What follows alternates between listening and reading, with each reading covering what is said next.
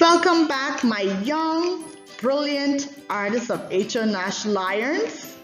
Welcome back, grade 8. So our topic is going to be about still life drawing. Okay, students, our objectives for today. Number one, identify the characteristics of still life from photos presented with a 60% accuracy.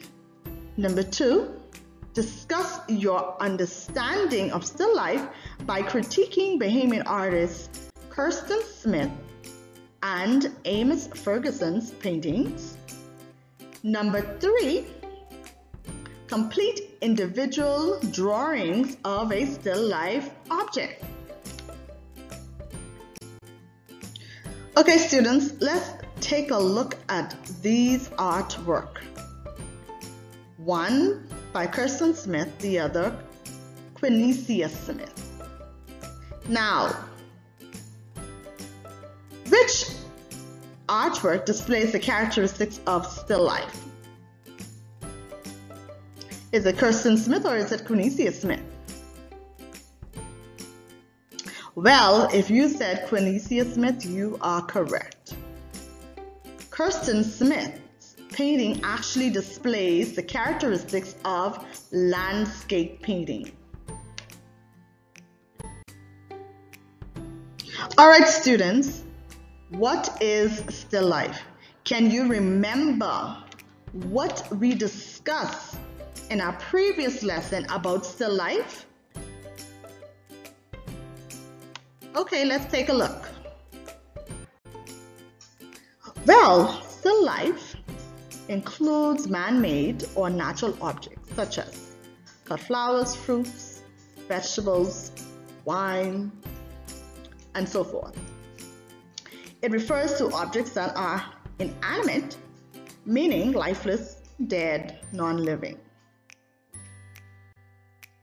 Okay, students, let's take a look at two paintings. One by Amos Ferguson, the other Kirsten Smith. Can you identify which painting displays the characteristics of still life? Is it Amos Ferguson or is it Kirsten Smith? Well, if you said Amos Ferguson, you are correct. So, Kirsten Smith's painting actually displays landscape painting. Okay? Okay, now you would have created and completed a drawing of your grapes, banana, apple, and pineapple for your quiz. And great job to you students that actually did a wonderful and awesome job. Now you also would have created a drawing of a still life object using one foot of a shoe. Now you would have chosen that shoe. You would have placed it in a position that's comfortable to you and you would have completed a sketch drawing including the values, the different values in that drawing. And great job. And this is my shoe, so I chose this shoe.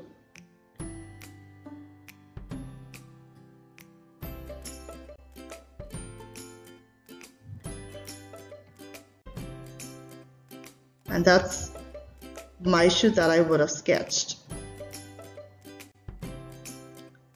And great job again to those who would have completed that assignment.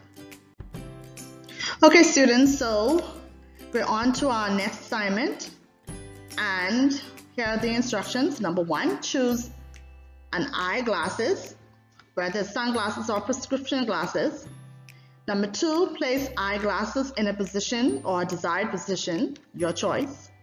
Number three, draw a detailed image of the eyeglasses also focus on different value scales or value levels that is light, medium, and dark shades, okay?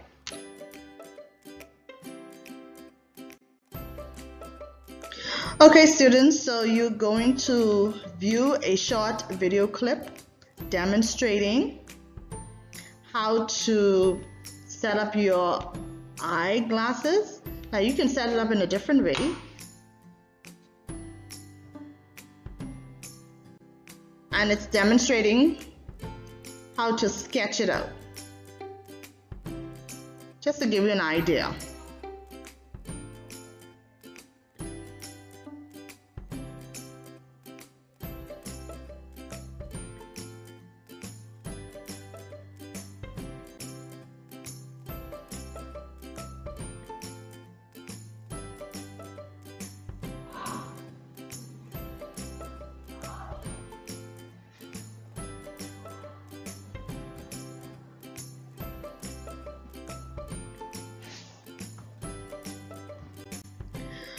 So students, I want that assignment completed today.